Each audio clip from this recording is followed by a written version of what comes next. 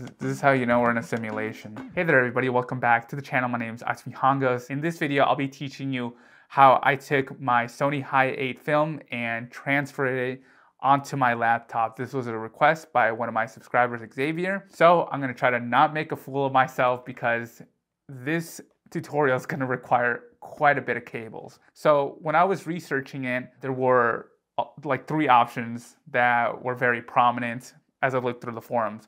One of them was like an Elgato cable, the other one was this like other RGB thing. But what I personally landed on was the AV out cable with this Firewire cable and Firewire to USB-C.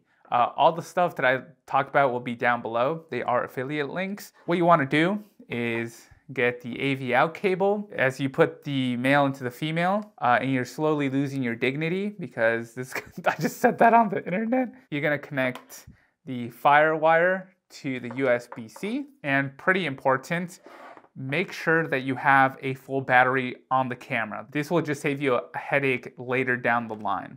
Uh, then you're gonna plug the AV out into the camera. There's typically two modes on these Sony Handycams you're gonna go into play slash edit.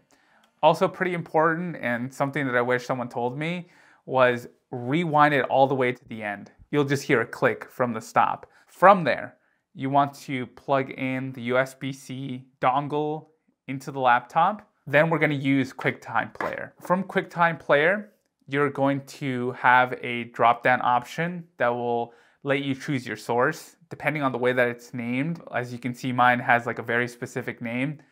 You will choose that source. And the reason it's important to start from the beginning of your film is because if you decide to rewind it as you're recording, also make sure you're capturing both audio and video.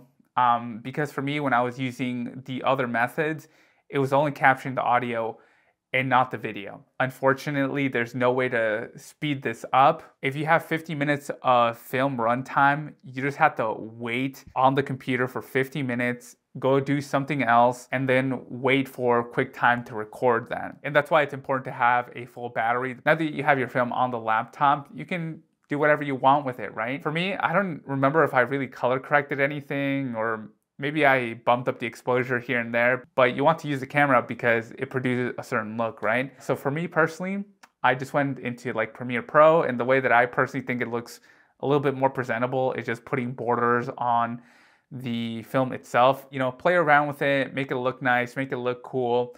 And that's really all that it is. It's a very simple process. Again, sorry this is only for Mac users.